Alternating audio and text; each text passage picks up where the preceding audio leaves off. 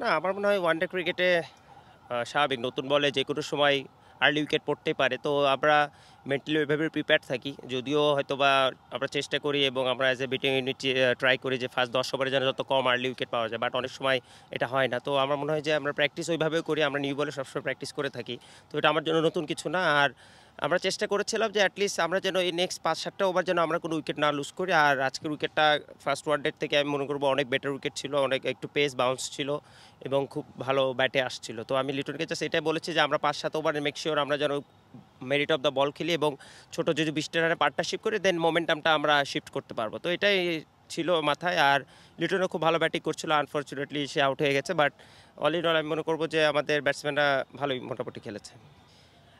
ব্যাটিংয়ের স্বস্তি বলতে যেটা আমি বললাম প্রেজেন্টেশনের ভিতরে যে আলহামদুলিল্লাহ ভালো লেগেছে অবশ্যই বাট এগারোটা বল আরও ছিল পুরা টুর্নামেন্ট মানে ও পঞ্চাশ ওভার হতে, তো অনেক সময় দেখা যেত হয়তো বা ক্লোজ গেমে এই এগারো বলটায় আমরা অ্যাটলিস্ট দশ বা বিশ রান যদি করতে পারতাম, তাহলে আমাদের আরও আপার হ্যান্ড থাকতো। তো সেক্ষেত্রে বলব যে আরও ইম্প্রুভ আছে আমার ব্যাটিংয়ে এরিয়াতে করার।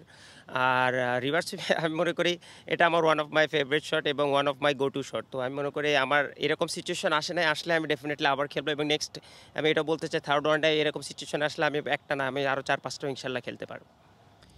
না, আমার মনে হয় যে এটা তো আসলে যে কোনো টিমের জন্য একটা প্লাস পয়েন্ট যদি আপনার একটা টিমে সাত আটজন পারফর্মার থাকে কনসিস্টেন্ট পারফর্মার তাহলে কিন্তু আপনার যে কোনো সিচুয়েশন থেকে ওই পারফর্মারগুলো কিন্তু পারফর্ম করলে আপনার টিম বের হয়ে আসে। তো আমি মনে করি আজকে একটা অপরচুনিটি ছিল যেখানে আমাদের লিডিং যারা প্লেয়ার যেরকম তামিম সাকিব বলেন স্পেশালি উপরের দুইজন যারা সবসময় রান করে বাংলাদেশের হয়ে, তো তারা মিস আউট করেছে। বাট এখানে আমি মনে করি যে, যেটা বললে যে, অন্যান্য যারা প্লেয়ার ছিল, যেরকম লিটন আফি বা মুসাদ্দিক যে আজকে ফার্স্ট সুযোগ পেয়েছে, তো ওদের একটা অপরচুনিটি ছিল। আমি মনে করি তারা চেষ্টা করেছে বাট আমি যেটা প্রেজেন্টেশন বলেছি আরেকটু সিলেক্টিভ হলে আমার মনে হয় আরেকটু ওরা বেটার রেজাল্ট করতে পারবে। কারণ এইসব উইকেটে কখন আপনার লোরিক শট খেলবে, কখন হাই এগুলো একটু নিচে কেউ জানতে হবে।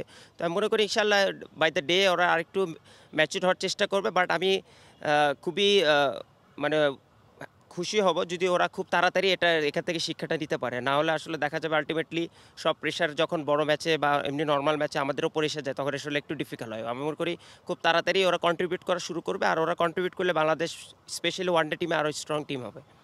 না, দেখেন হান্ড্রেড এটা তো একটা মাইলস্টোন বলতে পারেন বাট এটা আসলে একটা individual thing but all in all আপনার দল জিতলো কিনা এটা সবচেয়ে বড় ম্যাটার করে। যেটা আমি বললাম যে হান্ড্রেড করলে হয়তো এই ম্যাচটা আমরা নাও জিততে পারতাম। আমার মেইন টার্গেট ছিল যাতে আমি ফিফটি ওভার ব্যাট করতে পারি, যত রানই হোক সেটা নিয়ে যেন আমরা ফাইট করতে পারি। এবং আমি মনে করি two forty six was good enough score maybe not এখন হয়তো বা আমরা যা বলতে পারি যেটা অনেক ভালো একটা স্কোর বাট আমি মনে করি এই উইকেটে আমার এই উইকেটে অনেক ফাইটিং একটা স্কোর ছিল এবং আমার সবচেয়ে বড় ছিল যে আমি মেন্টালি প্রিপেয়ার ছিলাম, কারণ আজকে ওয়েদার আমরা জানি যে হয়তো বা অন অ্যান্ড অফ হবে বা কাটল ওভার হতে পারে। তো আমি মেন্টালি প্রিপেয়ার ছিলাম যে এরকম হলে এটা আসলে আমাদের হাতে নেই বাট মেক শিওর আমি যেন সুইচ অন সুইচ অফ করতে পারি এবং রেডি থাকতে পারি যখনই খেলা আবার শুরু হবে।